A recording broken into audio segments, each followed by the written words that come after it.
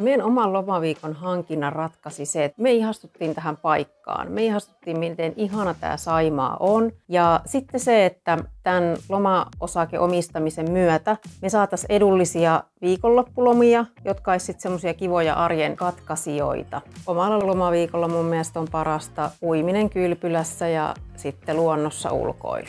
Ja järvessä uiminen totta kai. Me ollaan käyty Holiday Clubin kohteissa aika monessa.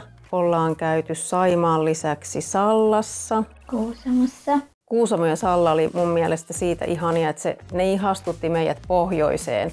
Ja se pohjoisen luonto ja rauhallisuus oli niissä se ihana juttu. Meidän lempiharrasteet on kylpylät ja ulkoilu. Pilkkiminen. Niin ja hiihto.